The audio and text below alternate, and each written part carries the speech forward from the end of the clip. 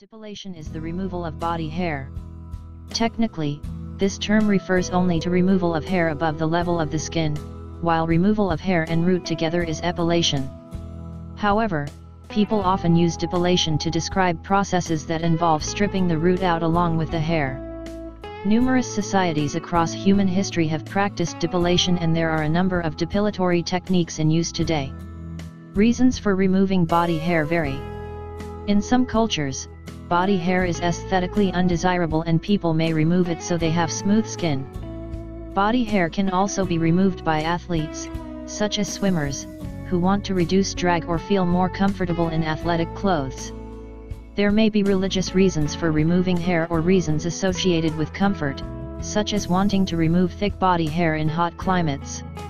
A classic depilation technique is shaving, in which a sharpened razor is run over the skin to cut off hair as it emerges from the follicle. Shaving needs to be practiced on a regular basis to keep the skin smooth and using dull razors or not being careful can cause ingrown hairs, razor burn, and cuts.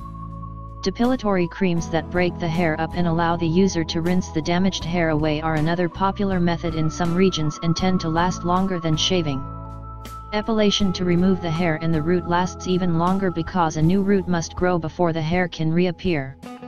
Waxing, sugaring, plucking, threading, and lasering are all techniques that can be used for epilation. Some of these methods can be used at home, while others need to be performed by an experienced esthetician who has received training in performing them safely. Lasers, for example, require skin and eye protection to limit damage. Some body hair is stubborn and difficult to remove. Different depilation techniques may be used on different areas of the body to control various types of body hair. Over time, repeated sessions of epilation can damage the root and prevent the hair from growing back at all.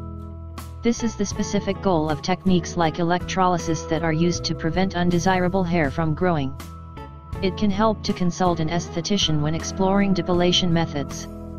Estheticians can provide advice based on the skin type and needs of a client. Some may provide assistance with methods used at home, teaching clients how to remove hair while avoiding injury.